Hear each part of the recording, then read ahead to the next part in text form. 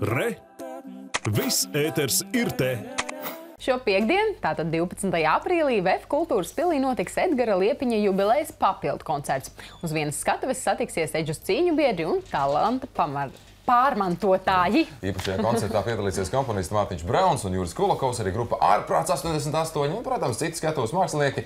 Jāteic, viņu vidū arī aktieris Edgars Liepiņas skatuves kolēģis Gunārs Placēns, un viņu šorīt esam aicinājuši uz sarunu studijā. Labrīt! Labrīt! Labrīt. Un, protams, arī līdzās ar koncerta producents Jānis Ļaviņš mums ir un bekvokālistes Olga Stupiņa un Inte Gudovska un pianists Jūris Kristons arī. Labrīt visiem! Labrīt! Labrīt, labrīt. Eh, Gunār, sāksim ar jums. Protams, eh, esat uz skatuves. Faktiski ar Edgars bijuši vienaudži, bet vai arī domu biedri tā teikt, aizskatuvē un uzskatuvē? Grūti pateikt. Abi divi mēs esam no laukiem. Nu, Beidzām teātrī institūtu. Diploma darbās es spēlēju roplēni, Blamai Lugā. Viņi spēlēja Edgaru. Pēc tam izšķīrāmies, viņš aizgāja uz jaunas teātras, uz Zaigas teātru, un pēc tam satikāmies, kad filmējām uzņēmumu televīzijā. Hugo Diegs brauc uz Bambāļiem. Hugo Diegs, laikam, tā galvenā platforma, kas jūs ir Tā arī nu, tā leģendāra paīstam duetu uztaisīt. kopā, jā, ar to mēs ilgi darbojāmies, jā, braukājām kaut koncertiem. Kā jūs to laiku atceraties? Vai tas ir tā kā, nu, ir kaut kādas epizodes no tā laika arī, kas šķiet, ka, nu, tā kā vakar bijušas, vai tomēr jau tā nogulsnējies, jau tā kā labu laiku šeit apakaļ? Cik dzīves tās atmiņas, es domāju? Nu, tas epizodes vienu otru, teiksim, tā ar grūtībām var atcerēties, bet tas ir tik sen, ka tik sen, tik ļoti sen, jā. Jā. Bet kopumā jau tur formāti bija dažādi. Es saprotu, gan izrādes, gan seriāli, gan pasākumi.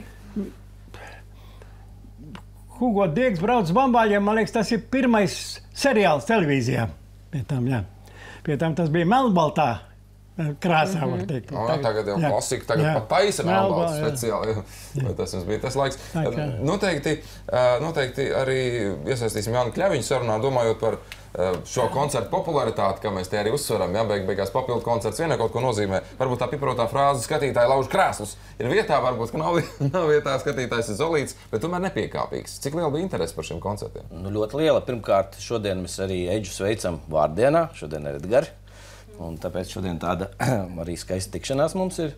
Jā, nu, pats Edgars bija teicis, ka viņš muzicēs tik ilgi, kamēr zālē būs pilna zāle, būs ar skatītājiem. Šobrīd varam teikt, eh, mēs esam ļoti priecīgi arī, ka ļoti daudz gadus pēc Eģus aiziešanas viņa eh, talanta cienītāji pulcējas koncertiem. un Šie koncerti tiešām piepildīti un apmeklēti, un, un cilvēki priecājās un atcerās Eģu. Un, un mēs arī savukārt esam parūpējušies, lai tā programma būtu interesanta, lai izietu cauri eh, dažādiem Eģus eh, teiksim, daļradas posmiem, gan ar Mārtiņu Braunu, gan ar ārprāts 88 gan, eh, protams, ar placēna kungu un maistro dziesmām, gan eģus dziesmām. Tā kā koncerts ir divās daļās un ļoti, ļoti, ļoti interesants. tā kā. Ja visi laiki, visi loki apmēram tiek Jā. nosakti. jā, no tā visa. Visi loki, Īsumā vēl par to, vai tas papildu koncerts būs atšķirīgs no iepriekšējiem, vai tomēr kaut kāda vēl klāta jubilejas stīga vārdu dienai pagoda. es pieļauju, nezinu. Jāsaka tā, ka Rīgā bija pats pirmais koncerts. Un, kā zinām, pirmais koncerts vienmēr tāds, vēl tāds mēģinājums. Ja? Tad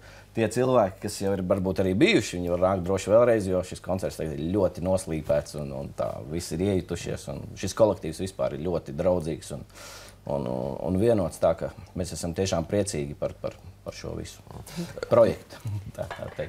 Gunār, kā jūs jūtaties šajā koncertā ar, š, ar šiem eh, domu biedriem, arī jauno paudzi? Nu, es jūtos tā kā no jauna piedzimts, var teikt. jā, nu, jā. Man tagad ir jauns ansamblis nodibināts, redziet. Edgars nav vairs tā kā es biju spiests, teiksim, pārņemt viņa funkcijas. No, ansambļa. Eģus vietā tagad ir divas. Gunāram ir divas meitenes. Trīs pa- īstenībā. Nu, katram laikam savas vērtības. Tieši tā. Starp citu, Laiks iet uz priekšu. Un Kas ar ir? laiku viss cits, kā teica Adolfs Alnāts. Kas ir starp citu, Gunār, tā galvenā vērtība vai nu, tā galvenā spēja, varbūt teiksim, tā, ko no Edgara Liepiņa joprojām varētu mācīties? Nu, tas ir, vai, kaut vairāk tādu cilvēku būtu Latvijā, kā Edgars Liepiņš, kas viņam bija tāds raksturs, ja viņš kaut ko bija iedomājies izdarīt, tad viņš to izdarīja, neatkāpās ne par kā- kādiem šķērsiem. Viņš bija iedomājies, piemēram, ka viņam jābrauc ar mašīnu Volga. Un tad viņš krāju naudiņu, cepu kartfejs uz plīsriņķiem un maisītēt, ka un nopirku. Un slimības gultā gulēdams viņš teica viena alga, bet redziet, man bija pirmā Volga, nevis Gunaram Cilinskim. Tas ir tieši stilā. Jā, jā, jā. Starp citu, jums pašam arī nu, pat piešķirt spēļu naktas balvu par mūža ieguldījumu. Un jūs bijāt jokojis, ka nu, pienācis tas brīdis, kad kaut ko labu esat sagaidījis. Eh, Kāda ir tā sajūta? Cienījamā vecumā arī būt joprojām dēls teātris štata aktierim.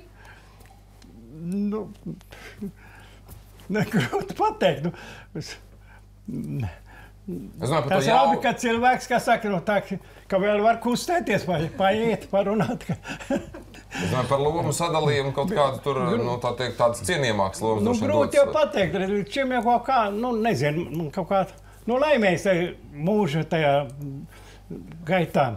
Es esmu spēlējis tās komēdijas vairāk, un tomēr pirmā vietā vienmēr tiek bīdīti varoņu tēlātāji, tēlotāji. Ka piemin, ka saka, tur un tur tas un tas notika, tur tāda aktieri piedalījās, viepiņš var šitos tos nosaukt. Komiks ne, ne, nepiemin. Jā. Jā, nu, par Tas tā koncertu bija kādreiz. Domāju, nu, kāpēc? Es esmu tik daudz dabūju. Dairas teātrī, piemēram, komēdijas. Tur eh, kādreiz varoņu no tēlātājs sasirds ar kaut ko.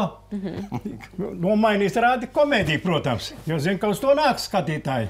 Tā vietā ieliek. jā. Bet viņš viņa tā kā aizmirstas, ja jūs prātās komēdijas, nu, ka par maz viņām slavastītas. Par maz. Nu, bet katrā laikā katrā s- arī savu, savu iezīmi, kad kāds žanrs varbūt aiziet uz urā, kurā, kurā brīdī arī spēj to Nē, nu, grūti. Tas ir komēdija spēlēt, to jau tagad atzīst. Agrāk, padomu laikā, nu, komēdijas ir kā neatzina mazāk, otrā šķiras. it kā Tā, lūks. Tagad viņi, tagad, nu, kritiķi atzīst, ka nu, tas ir ļoti grūti spēlēt komēdiju. Tas ir fakts, ļoti grūti spēlēt. Ir sevišķi, ja izrādes laikā, ja latvieši skatīs, aplaudē, mīļiet, ziniet, kas tur jādara, kā tur jāspēlē. Jā. Tas gandrīz vai bija nu, īstenībā paldies, izklausās, man ja man skatītājs tā, man aplaudē. tā ir gadījies. ir bijis, Ir gadījies.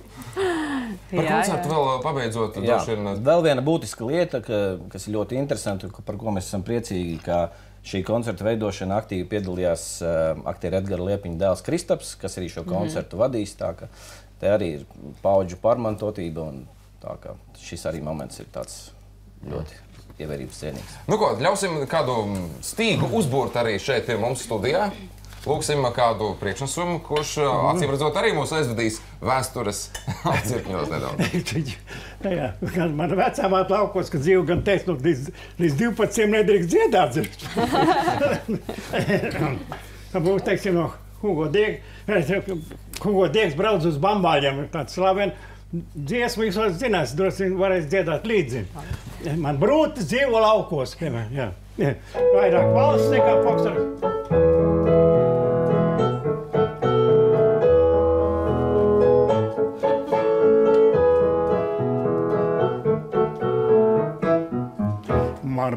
Brūte dzīvo laukos, par līdzīt viņu saus.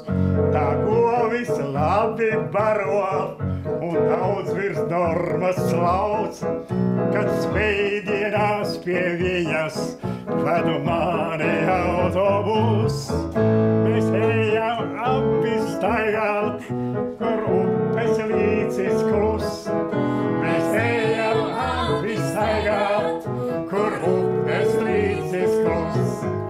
Zem kuplas ievas sēžam, gar ausi odis sīks, un runājam par darbu, līdz attausis ir rīts. Es saku, mīļā līziņa, ja vienu buču smiedz,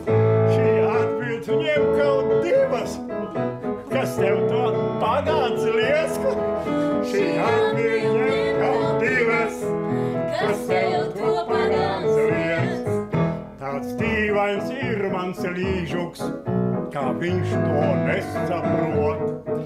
Kad drīkst no otra paņemt tik to, ko viņš tev dod. Mans priekšnieks vienmēr saka, to ješka vērā lirots. Ar naglu nolikt talā, bez ziņas neaiztiec. Ar naglu nolikt talā. Kuras tādēļ saucu es. Skaista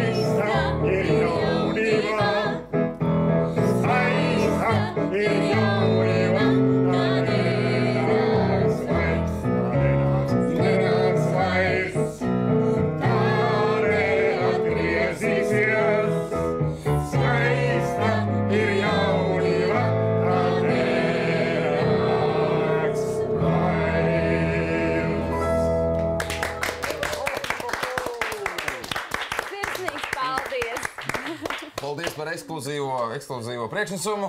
Un, uh, lai tikpat uh, emocionāli uzlādējoši, kā mums šorīt atmosfēra, un vēl N reizes vairāk, vai šaubām, jau vairāk būs šo priekšnesumu arī koncertā, kurš notiks. Atgādināsim vēlreiz šo piekdienu, 12. aprīlī, VF kultūras pilī. Papildu koncerts.